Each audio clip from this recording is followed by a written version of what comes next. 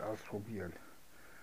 Wenn man dann irgendwas Verrücktes macht oder einen Hund tritt oder irgendeinen Stein schmeißt oder eine Flasche kaputt macht,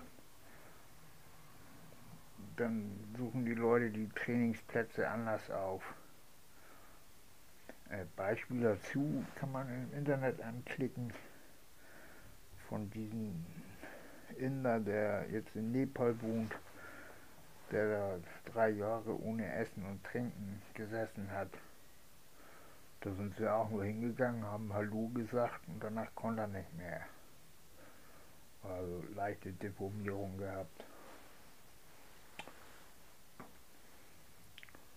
Also auf Deutsch, in, in Japan gibt es diesen Tempel da von Shinto. Da darf man nicht einfach hingehen und irgendwas machen und darüber reden oder durch die Blume darüber reden. Ich glaube, das ist das letzte Geheimnis davon. Jedenfalls, wenn man diese Leute an an die, in der Übung an die Aufmerksamkeit ranlässt, dann hat man irgendwelche Deformierungen davon. Möchte ich nur glauben, möchte ich nicht sagen. Ich will es doch mal ausprobieren, mit sich alles gefallen lassen. Die werden einen ja nicht gleich zerreißen, die wollen ja nur mal alles wissen und über alles reden und alles melden und wieder nichts geholt haben. Und wollen halt ihren falschen Stolz und das meinen sie halt von anderen.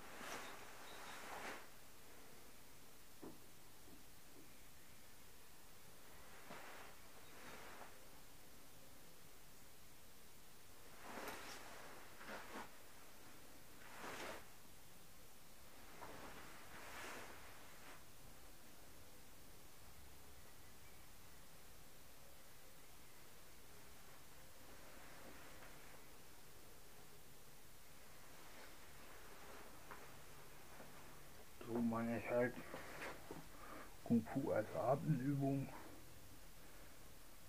Ob man mir glaubt oder nicht, ich meine das für mich so und brauche es auch nur für mich. Und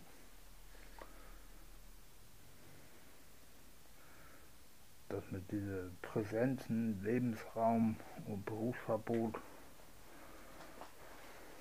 also Präsenzen, Spiel in in Magie oder Kung Fu finde ich eine gute Frage.